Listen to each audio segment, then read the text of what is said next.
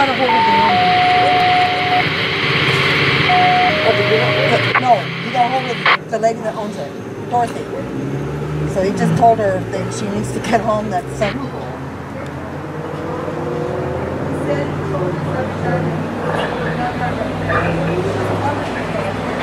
The guy in the white GMC was the one who talked to the guy who did that. And said he was gonna go get the owner. to He was walking away.